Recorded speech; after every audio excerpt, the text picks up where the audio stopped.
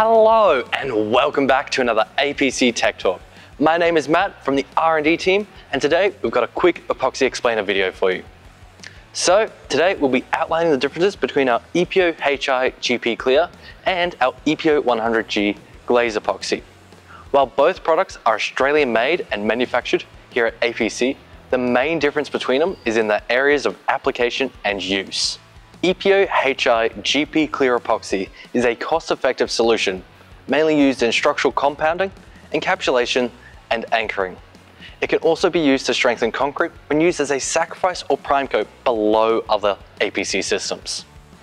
EPO 100G Glaze Epoxy is specifically formulated for use as a decorative coating, such as a diamond finish in our flake systems or our metallic marble systems. It features lower surface tension and greater leveling properties to prevent issues like fisheyeing and golf balling, ensuring a professional finish every time.